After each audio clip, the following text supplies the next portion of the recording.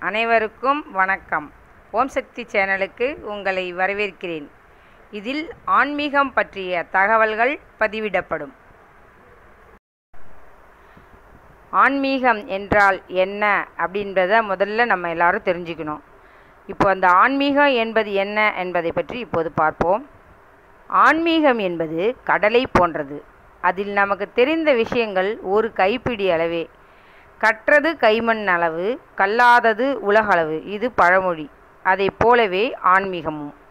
ஆன்மீகத்தை அறியாத அறிவியல் முடம் அறிவியலை அறியாத ஆன்மீகம் குருடு என்று குறிப்பிடுகிறார் அறிவியல் மேதை ஐன்ஸ்டீன். அறிவியலும் ஆன்மீகமும் ஒன்றோடொன்று தொடர்புடையவை. இதற்கு ஒரு உதாரணம். கோவில் இல்லாத ஊரில் குடியிருக்காதே என்று பெரியவர்கள் அடிக்கடி கூறுவார்கள். இதற்கு காரணம் என்னவென்றால் ஒரு ஊரில் அல்லது ஒரு சிறிய கிராமத்தில் ஒரு கோவில் கட்டும்போது அந்த கோவிலில் கோபுரம் இருக்கும். அந்த கோவிலின் பிரதான சாமியை மையப்படுத்தி அதன் மேலே கோபுரம் அமைப்பார்கள். கோவில் கட்டி கும்பாபிஷேகம் செய்யும்போது அந்த கும்பத்திற்கு விசேஷ பூஜை செய்வார்கள். இது கோவிலின் ஐதீகம். ஆனால் இதில் ஒரு விசேஷ அம அமைந்துள்ளது. அதில் என்ன விசேஷம் என்றால் அந்த கும்பம் ஒரு இடிதாங்கி.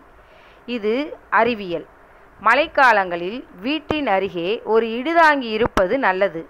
அதனால்தான் கோவில் இல்லாத ஊரில் குடியிருக்காதே என்று பழமொழி வந்தது.